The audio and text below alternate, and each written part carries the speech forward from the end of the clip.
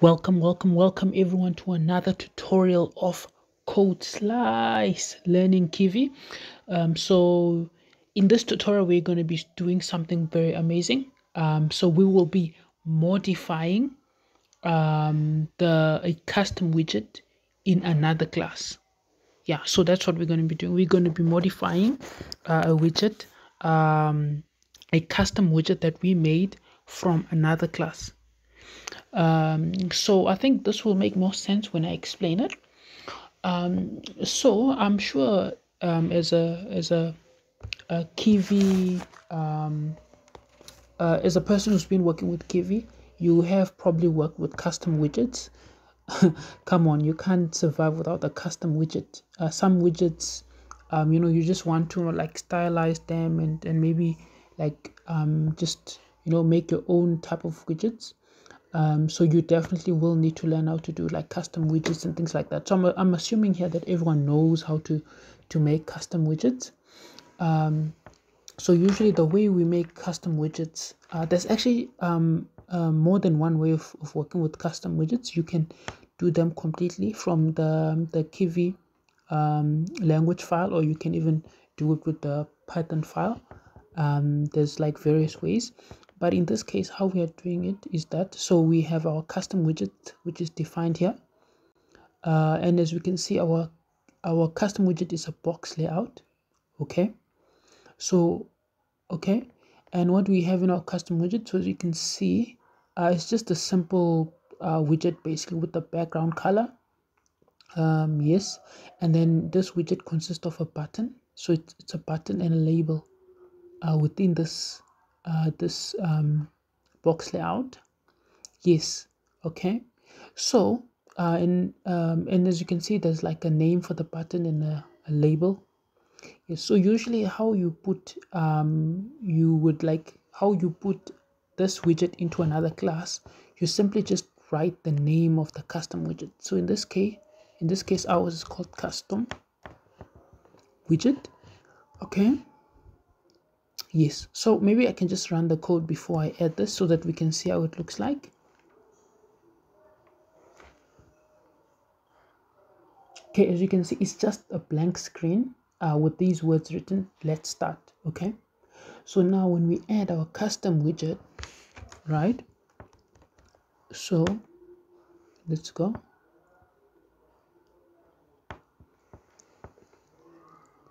so as you can see our custom widget is added here and it's a name uh, it's a button with the word name written on it and a description. So this is basically how you add a custom widget. So sometimes you you might reuse the same widget more than once you know uh, maybe you can add it twice or three times. Uh, basically that's the beauty of a custom widget. You can use it over and over again. So instead of you writing the same thing again and again all right? So you can just make one custom widget and then um, just use it uh, for your various buttons. Yes but there are cases where you experience some issues with the custom widgets such as as you can see um, when I reuse the same widget it only gives me the same like uh, text for the button and the same label. What if maybe you want to change that? Maybe whenever you add the custom widget you want to also change the text of the button or maybe the label how do you do that? Um, so if you try let's say you try maybe you know try to change the text maybe uh, of the custom widget let's try that. Let's say hello let's see what happens if we do that.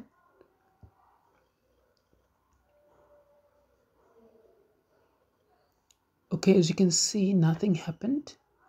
Um okay what if maybe we say a label maybe we add a label we specify that okay uh, we want to put there a label okay and then within this label then we have the text.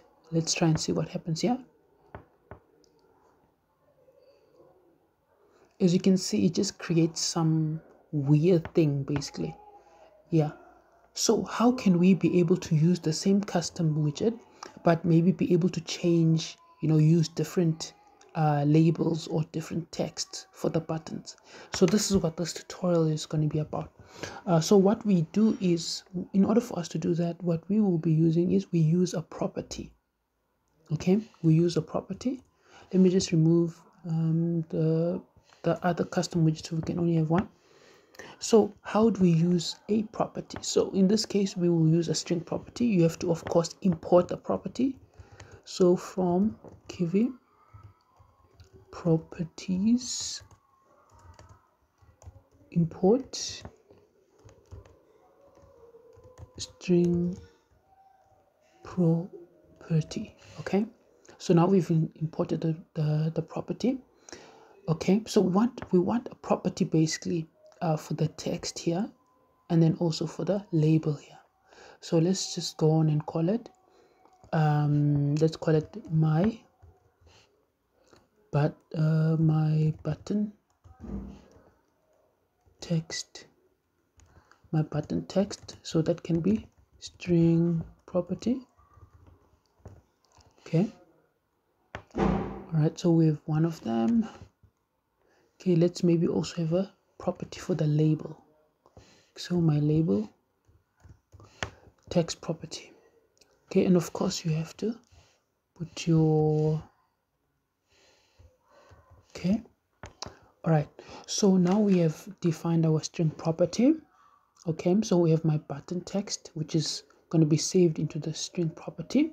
And then we have my label text which is going to be saved also in the string property. So now instead of adding the name uh, like the text in the custom widget itself we can just um, link it to the string property. So of course the property is in the root. So what do we say? We say root right? And then we can say my uh, btl text. Okay? So that's for the button. Okay and then for the label. Okay my label text. Okay. All right. Okay. So now we have linked our string property to our button text in our label text. Okay. Of course if we run it now uh, there's going to be uh, nothing really. Uh, the reason being is because we haven't um, really like defined any string particular string yet um, to our string property okay? So as you can see there's nothing there.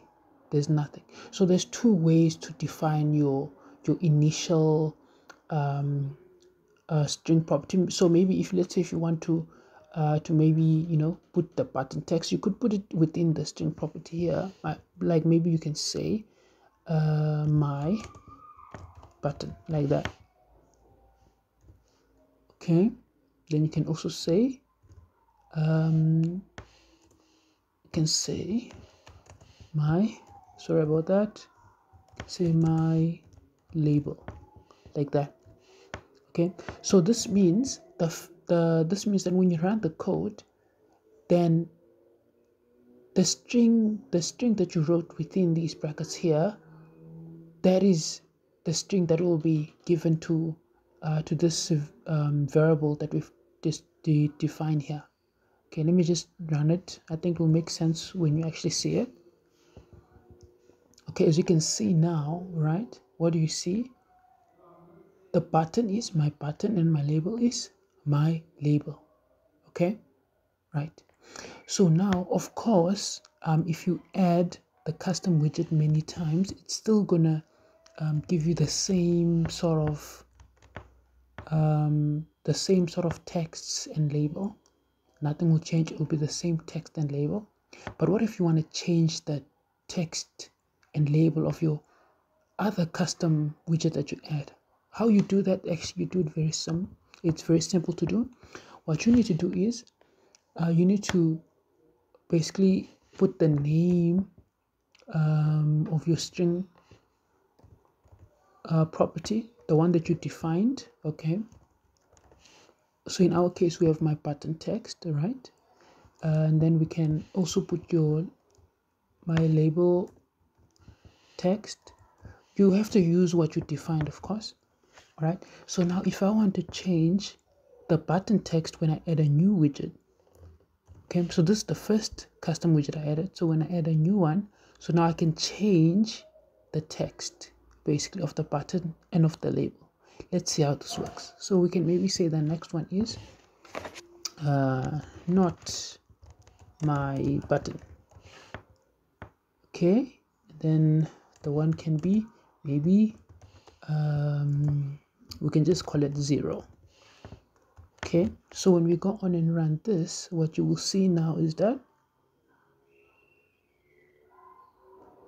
as you can see what do you see now you can clearly see that there's what they all have different text texts and they have different uh, they also have sort of like these um, different labels right? And you can do this for as many labels as you want. So this is the beauty of using um, of using a string property. Yes.